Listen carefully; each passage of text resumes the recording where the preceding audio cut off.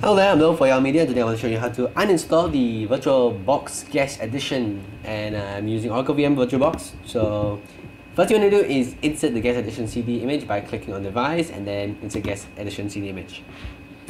You would like to then ignore the pop-up, cancel, and then open up a terminal.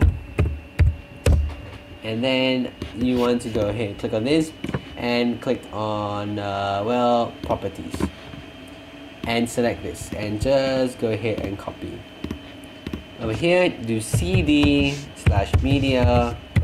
Okay then just do ls take a look at this okay and then go cd media whatever this was so test slash and then paste enter.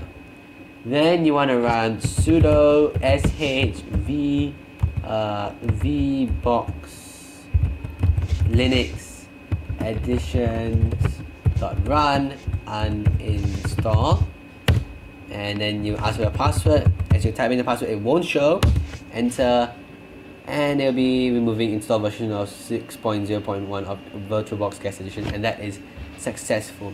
Now you will see that uh, the screen still responds to your uh, change of window size meaning the Guest Addition is still kind of present it will only take effect when you restart the machine. So let's restart the machine, ignore the epicness of failure of the graphic driver being like, I don't know where it is and like flashing my hell.